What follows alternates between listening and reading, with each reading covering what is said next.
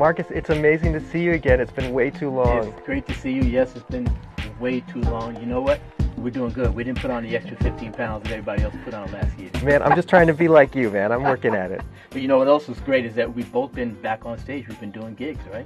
Yeah, it's really amazing to be out there working again, and we're getting ready to go do the Smooth Jazz Cruise 2022. That's right. We're back on schedule, which means now is the time for us to announce the details for the 2023 Smooth Jazz Cruise. And we've got an amazing lineup of musicians and two sailings to see them on. Smooth Jazz Cruise 23.1, that's going to sail from January 20th through the 27th, 2023. And the Smooth Jazz Cruise 23.2 is going to sail from January 27th through February 3rd, 2023.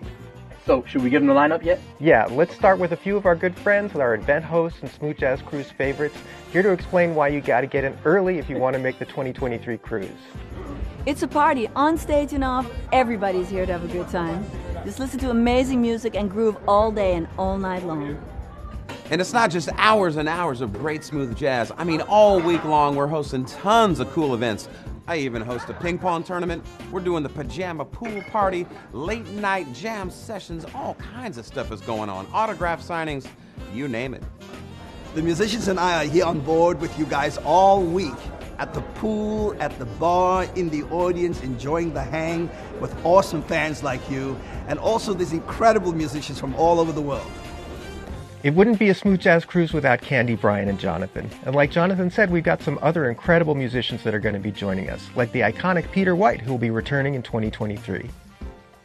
Another icon, my man Gerald Albright, he's back and he's ready to play all night. Adding a young lion to the lineup, Vincent Ingala is coming back to fire up the crowd.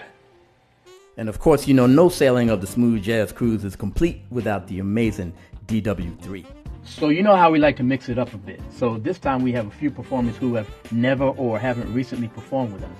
Like Mindi Abair, who's bringing her blues vibe as well as her smooth jazz set on the cruise.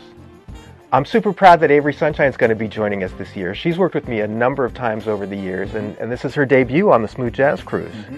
It's going to be great to sail with Take Six again, the eight time Grammy Award winning a cappella group famous for gospel, jazz, and every other genre of music you can imagine.